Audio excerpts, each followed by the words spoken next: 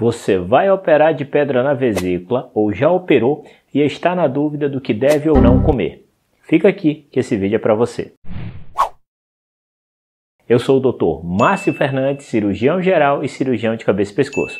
E esse canal eu destino ao mundo da cirurgia, tanto da cirurgia geral quanto da cirurgia de cabeça e pescoço. Saber o que comer após uma cirurgia não é uma dúvida somente dos pacientes que operam de pedra na vesícula. Apesar dessa dúvida ser muito comum, pela grande quantidade de informações e mitos que ocorrem em torno dessa cirurgia, que a pessoa vai ter diarreia pro resto da vida, tudo que ela comer ela vai pro banheiro, que ela não pode mais tocar em gordura pro resto da vida, e tudo isso não passa de mito. Quando o paciente opera da vesícula, a vesícula é um reservatório, ela não tem função de produzir a bile, que é o que ajuda na digestão da gordura, que é o que vem no alimento. Então, se ela é apenas um armazenador, quando nós tiramos a vesícula biliar, o paciente perdeu o excedente, o que era guardado de bile, para um momento de uma demanda maior. Quando o paciente se alimentasse com uma grande quantidade de gordura, a vesícula contrairia e jogaria aquele excedente para ajudar no processo de digestão.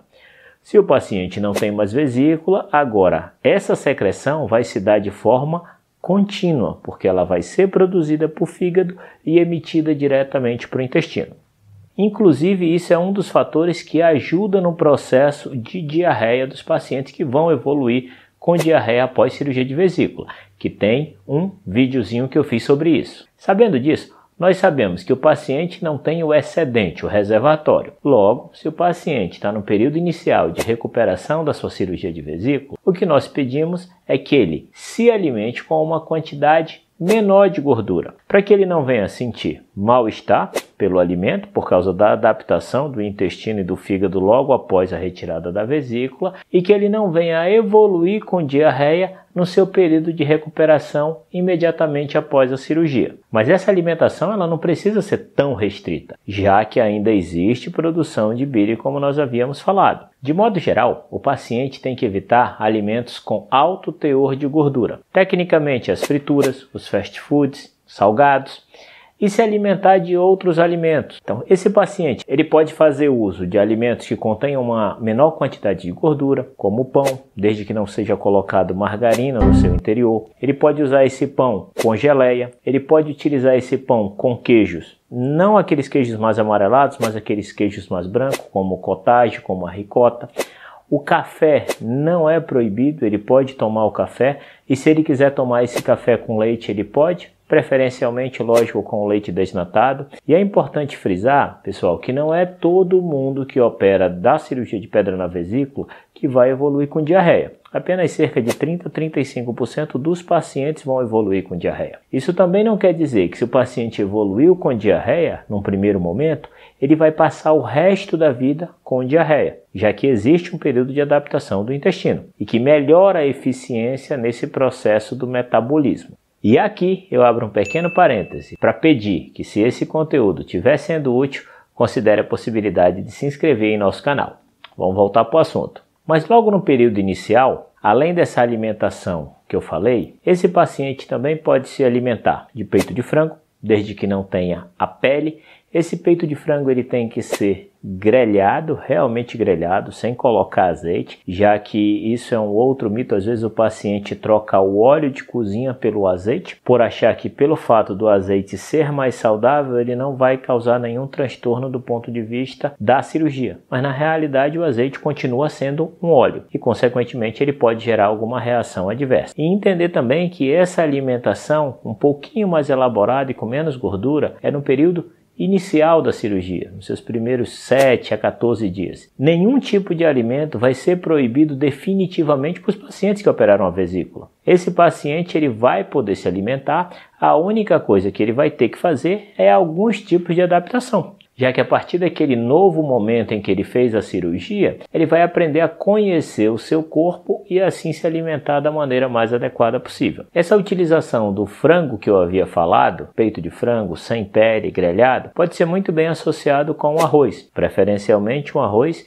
escorrido, que não use fritura nem óleo. A utilização de saladas é permitida, a utilização de frutas. O paciente também pode optar por carnes mais magras, como é o patinho no caso da carne moída. Essa carne associada tanto com legumes, assim como arroz escorrido, até mesmo com macarrão, desde que não seja feito com excesso de óleo, ele pode muito bem ser ingerido pelo paciente sem maiores problemas ou sem maiores transtornos. Uma outra opção de alimentação para esses pacientes que operaram de vesícula é o peixe principalmente o lombo do peixe. É lógico que existem alguns peixes que são um pouco mais gordurosos do que outros, mas também a forma de preparo desse peixe influencia muito. Então, peixes grelhados, preferencialmente o lombo, já que aquela parte mais é, externa da costela contém uma quantidade de gordura e, consequentemente, pode ser mais prejudicial, mas a parte mais do lombo do peixe, desde que grelhado ou cozido com pequena quantidade de óleo, também pode ser ingerido facilmente pelo paciente. Uma outra opção de carne são carnes de perus, essas aves que nós geralmente consumimos no período de dezembro,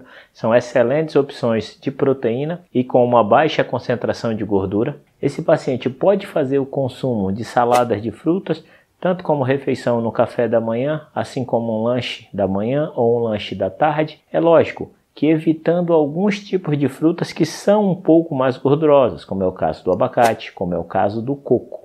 Outra coisa importante a se frisar e que se deve ser evitada e que muitas vezes é tido como inocente são as oleaginosas. São aquelas amêndoas, as castanhas, então todas essas castanhas elas possuem uma alta concentração de gordura, batendo e frisando naquela tecla de que esse tipo de alimentação ele não vai se perdurar para o resto da vida, é apenas um momento, é momentânea, enquanto você está se recuperando daquele procedimento cirúrgico. E só abrindo um parêntese, pessoal, eu já cansei de operar também pacientes que não tiveram qualquer sintoma de diarreia e que sequer seguiram essa dieta. E consequentemente, alguns alimentos eles devem ser evitados.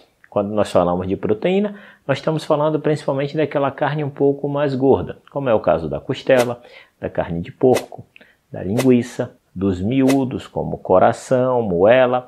Esse tipo de alimento eles devem ser evitados. Só lembrando que não quer dizer que o paciente ter operado de vesícula ele vai ter sintomas de diarreia. Eu tenho inúmeros pacientes que não tiveram qualquer sintoma de diarreia, mesmo mantendo uma alimentação normal após a cirurgia, que foi preferência deles. Então, de modo geral, nós temos que entender que o paciente que fez a cirurgia da vesícula ele precisa fazer uma dieta inicial apenas no seu período inicial de recuperação e adaptação pós-cirúrgico, evitar alguns alimentos que contenham uma quantidade de gordura maior, mas entender que aquele alimento não vai ser proibido por resto da vida dele e que ele vai poder se alimentar tranquilamente após um certo período. Alguns pacientes vão ter uma adaptação extremamente positiva e não vão evoluir com qualquer tipo de complicação ou diarreia após a cirurgia já outros pacientes vão ter alguma diarreia transitória por um tempo e depois vão melhorar, e alguns pacientes terão diarreia por toda a vida. Esses pacientes que evoluem com diarreia por toda a vida e de forma intensa, em algumas situações, quando isso pode se tornar prejudicial à saúde do paciente, ou seja, um emagrecimento inesperado por um excesso de diarreia, pode ser necessário fazer algumas medicações que auxiliem nesse processo de digestão, para que esse paciente não evolua com perda de peso e, consequentemente, malefício para o seu corpo. Espero que tenham gostado. Se esse conteúdo foi útil para você, considere a possibilidade de se inscrever em nosso canal. Abraço a todos. Se resta dúvida, é só perguntar nos comentários.